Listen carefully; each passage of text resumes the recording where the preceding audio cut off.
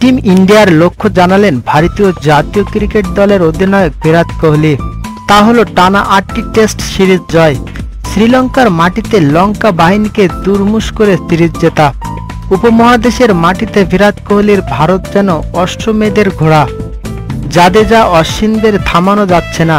এদিকে কয়েকদিন আগে প্রাক্তন ভারত অধিনায়ক সৌরভ গাঙ্গুলি বলেছিলেন, টিম কোহলির আসল পরীক্ষা হতে চলেছে অস্ট্রেলিয়া, দক্ষিণ আফ্রিকা, ইংল্যান্ডে।